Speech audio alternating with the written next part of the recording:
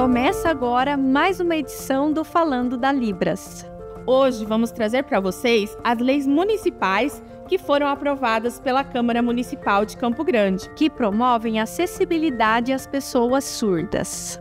Essas normas garantem e ampliam o direito do uso da Libras, já previsto na Lei Federal 10.436 de 2002 e no Decreto Legislativo 5.626 de 2005.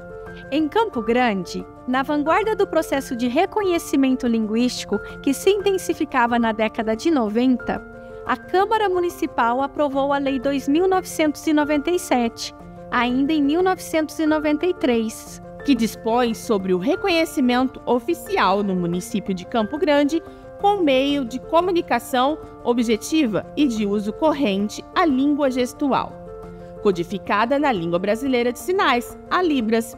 Na sequência de legislações para garantias de direitos do uso da Libras, houve um grande movimento nacional e estadual na área da inclusão. Em Campo Grande, novas leis foram reivindicadas pela comunidade surda e vamos apresentar algumas para vocês.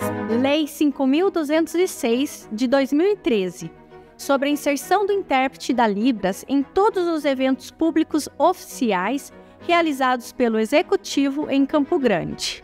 Em 2016, essa legislação foi alterada pela Lei 5686 prevendo inserção do intérprete de Libras nas UPAs, Unidades de Pronto Atendimento. Resolução 1174 de 2013 institui a disponibilização de intérprete de Libras na Câmara Municipal, prevendo essa participação nas sessões ordinárias. Lei 6.341 de 2019 autoriza a criação do Centro Municipal de Interpretação de Libras de Campo Grande, a CEMIL, para as pessoas surdas ou deficiente auditiva.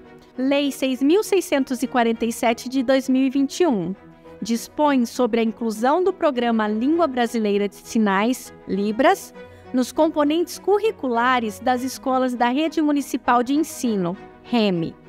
Lei 6.667 de 2021 institui no município de Campo Grande o Dia Municipal do Tradutor Intérprete de Língua Brasileira de Sinais, Libras, a ser comemorado em 30 de setembro.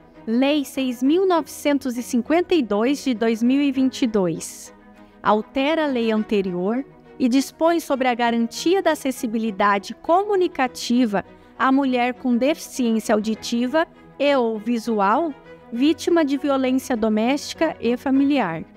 Lei 6.974 de 2022 dispõe sobre o programa Empresa Amiga do Surdo, em Campo Grande. Resolução 1372 de 2023 institui a medalha legislativa José Ipiranga de Aquino, no município de Campo Grande.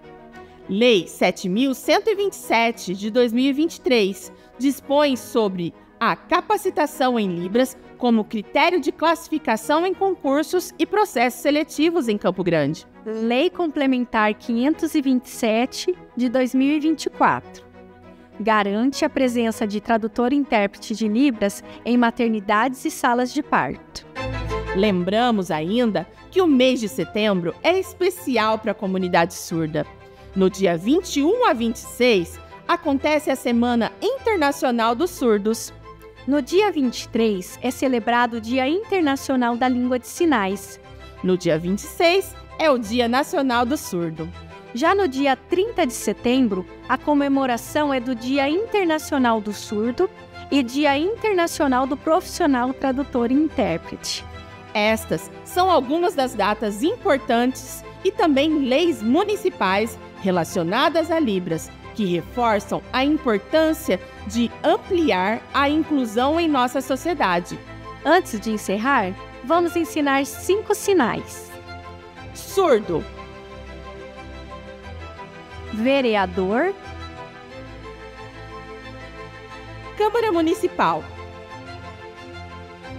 lei. Obrigado.